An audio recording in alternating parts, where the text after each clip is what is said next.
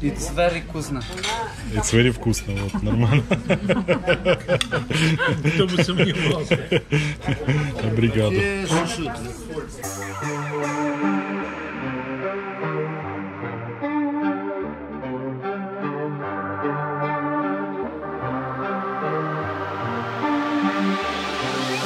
Билеты стоят 14 евро с человека. Этот дворец является самым посещаемым местом Португалии. Ну, вы сами видите, ехали вроде бы по дороге никого не было, а сейчас столько народу. Туристы со всех стран мира.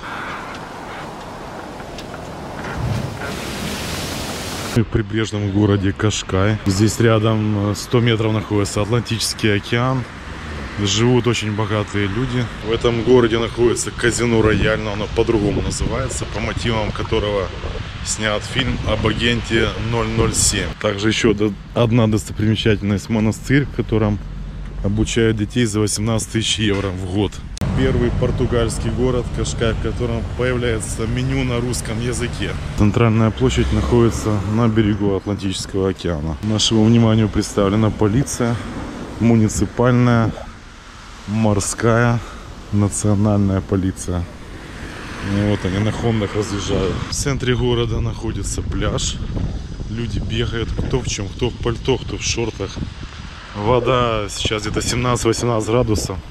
Температура воздуха 15.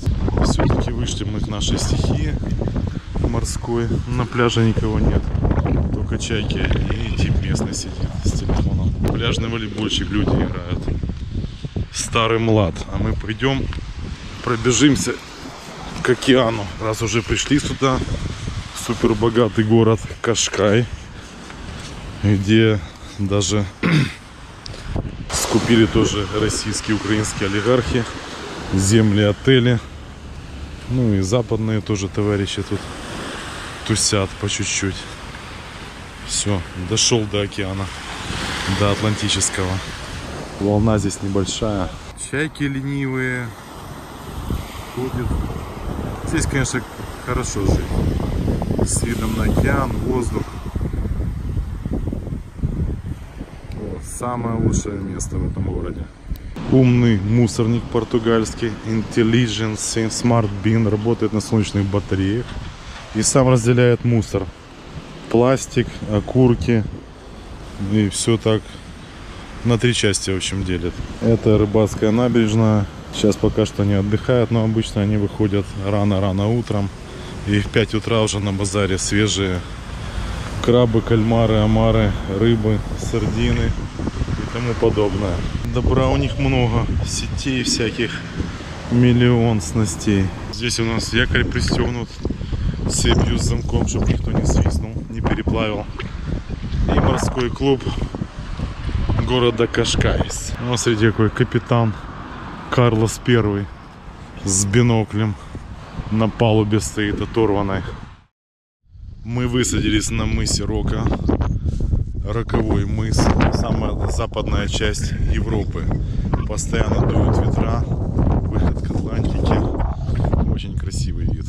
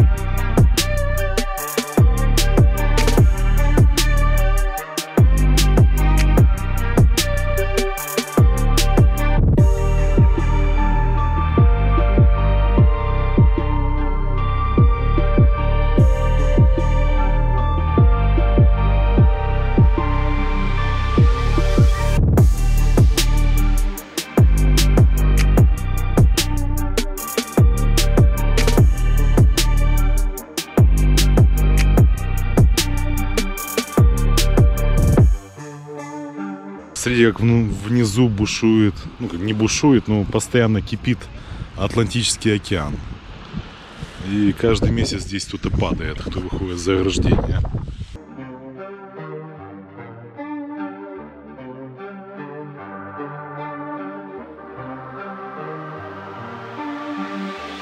Красивейший вид, куча туристов, китайских в основном. Здесь построили маяк в 18 веке. Луч бьет на 60 километров.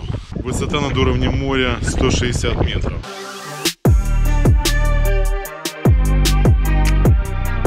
Посмотрите, какая здесь растительность интересная. Цветы такие, ого. Прям как, как каланхоя или алоэ. Мощные листья. Мясистые. Деревья тоже низкие, потому что постоянно дуют ветра.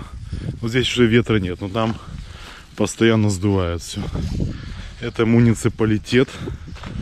Здесь можно за 11 евро получить сертификат, что ты был на самой западной точке Европы. Каллиграфическим почерком напишет твое имя, страну, дату и все такое.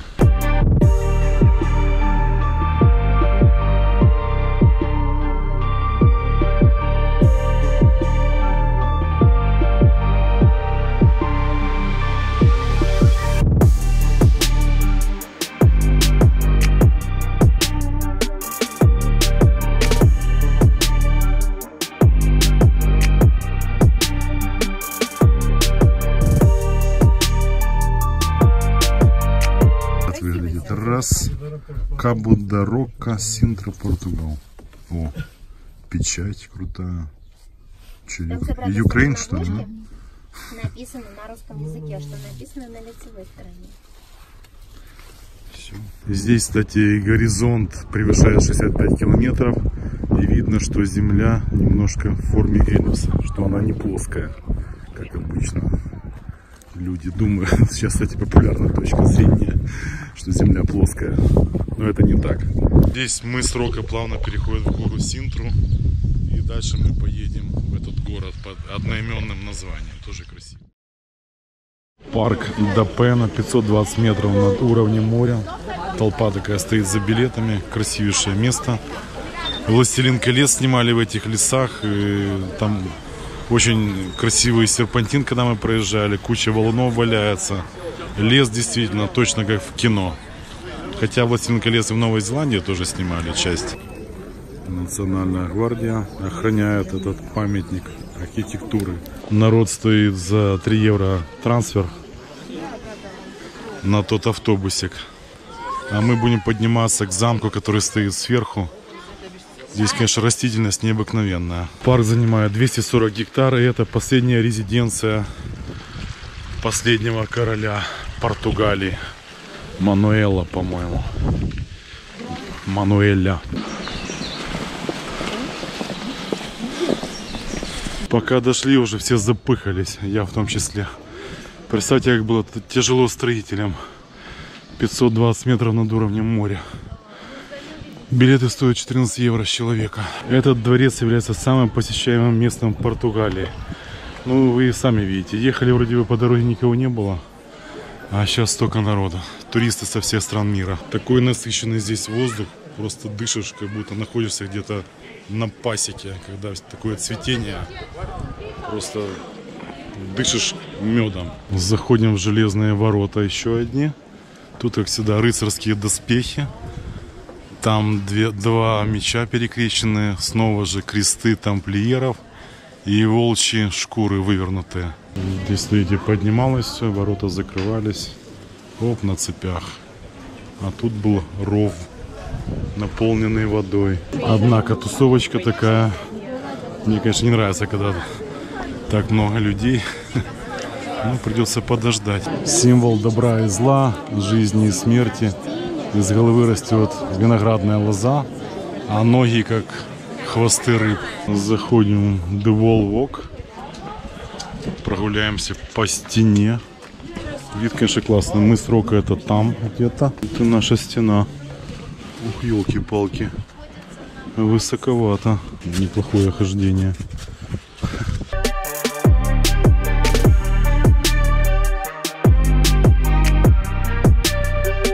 Грибок, который появляется, где очень чистый воздух. Сейчас зайдем в башенку охранников. Как им тут было?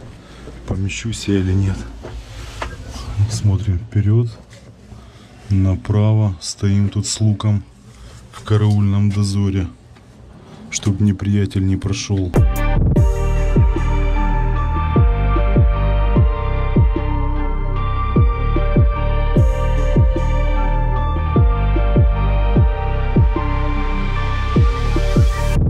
Здесь просто муравейник кишит. Народа миллион. Сейчас будем еще в очереди стоять. О, бегу. Памятник Фернанду II похож, смотрите, на барона Мюнхгаузена и на Феликса Эдмундовича Дзержинского. Это мы уже внутри Королевского дворца. Какая столовая с отличнейшим видом на мыс Рока. Это ванная комната королевская. Такие кроватки маленькие, королевские. Кресла, конечно. Мне больше всего здесь вид нравится. Из окна. Это комнаты для дам. Богатая спальня, особенно потолок мне нравится. Король Карлуш и чайная комната. Король был убит. Я бы не стоял бы по новой. Ту очередь такую, 200 метров.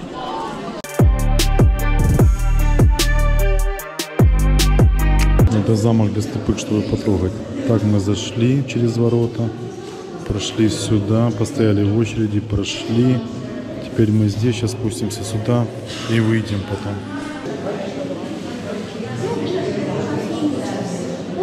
Все, конечно, красиво, но из-за этих очередей я бы второй раз не пошел. Кстати, вчерашний замок тамплиеров мне даже больше понравился. Народ прибывает все больше и больше со всех частей света. Заповедные леса здесь. На этом месте в старые времена когда-то проводились бои быков. Сейчас в этом лесу хоббитов встретим каких-то из «Властелина колец». Итальянцы, немцы, шведы, французы. Все подряд. Еще один королевский дворец в Нижней Синтре.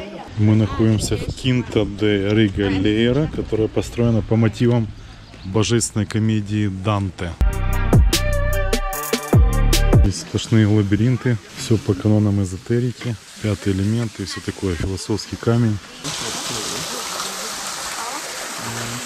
Всем дают карты, надо из этого лабиринта в конце концов выйти. Выходим к одному дворцу.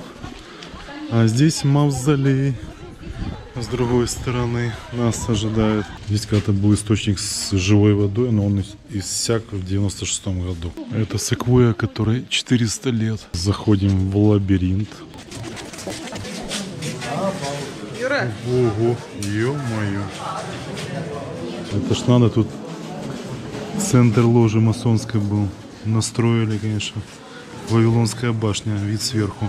Здесь все по канонам эзотерики. Идем по часовой стрелке. Вот мы почти дошли и до низа этой подземной башни. Теперь посмотрим снизу наверх. Тут, конечно, столько надо было земли выкопать. Елки-палки. Метров 60 под землей. Нормально они накопали здесь, да? Подземелья. Сейчас будем идти по камням. Путь реинкарнации.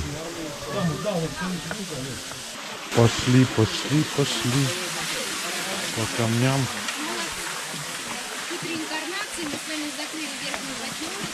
Восьмерочку. А что там под правую ногу? Идешь как бы нормально все. Башня подземная меня очень впечатлила. Пьем воду и заговариваем заодно. Идем в мир созерцания после того, как попили водички. Это воды ре- реки Стикс, через которую Харон перевозил умершие души в загробный мир. И обычно в старые времена клали под язык монету, как бы плата Харону была. Это, господа, источник с мертвой водой тоже иссяк давно. Так же и как и с живой водой. Смотрите, около источника мертвой воды, какие вы, вымахали папоротники. Один и вот это второй. Я такого вообще в жизни не видал. Здоровенный метров 15.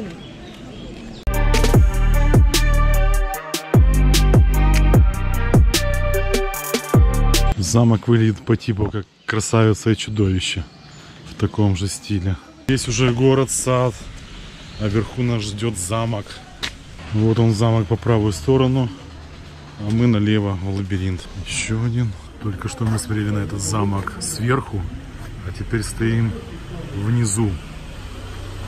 Здесь изобилие растительности, цветовой гаммы. Знакомый знак. Это все масонские храмы, все у них был, было на языке символов. И, только что вы видели знак который стоит на долларе США. Непосвященному человеку здесь ничего не понятно, а так надо смотреть каждый символ, каждый штрих, каждую скульптуру с разных сторон.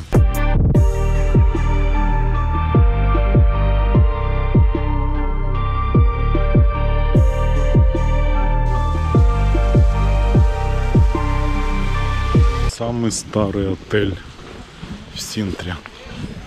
Лоуренсес. 5 звезд.